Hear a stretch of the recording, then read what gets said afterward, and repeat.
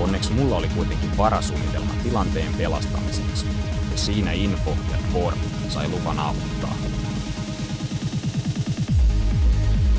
Kapteeni, toivon, että teillä on pätevä syy kutsua meidät koolle. Tämä tapaaminen voi vaurioittaa aikalinjaa entisestään.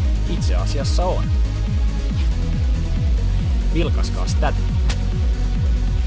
Vaimot lesboilevat miestensä luvalla. Ei siis... Tätä.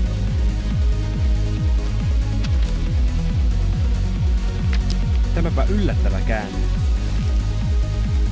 Tulevaisuuden teknologia nykyisten ihmisten hallussa voisi johtaa katastrofiin.